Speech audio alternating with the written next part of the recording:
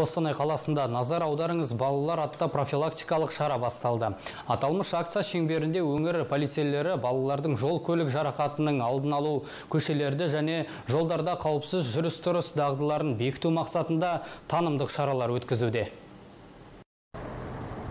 Назар аударыңыз балалар профилактикалық шара Қостанайда 22 тамызда бастау алды. Іс шара аясында қаладағы барлық мектептер алдына белгілер орнатылды. Сонымен қатар бағдаршамдар көше бойында орналасқан сақтық белгілері тексерілді. В целях профилактики детского дорожно-транспортного травматизма Бұл шаралар балалардың қауіпсіздігін қамтамасыз ету мақсатында жүргізіліп жатыр. Мектеп алды балалардың көп жүретін жерлері, сондықтан барлық мектеп аумағындағы белгілер мен бағдаршамдар толық тексеруден өтті.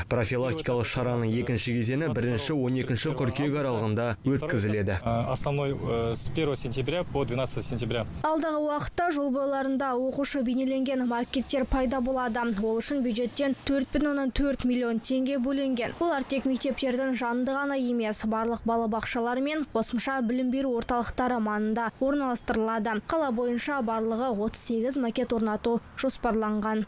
Нами проведено совместно с с управлением полиции. Полиция басқармасымен бірлесіп қаладағы мектептерге жақын орналасқан көшелерде тексеру жұмыстарын өткіздік. Және сол көше бойларында жылдамдықты тежегіш жолақ орнаттық. Кейде жоғары жылдамдықпен келе жатқан көлік жүргізушісі арнайы белгіні бақыламауы мүмкін. Ал тежегіш жолақтар осындай оқыс оқиғалардың алдын алады. Сондай ақ профилактикалық шаралар тек қана мектеп оқушыларымен ғана емес көлік жүргізушілерімен де өткізіліп жатыр.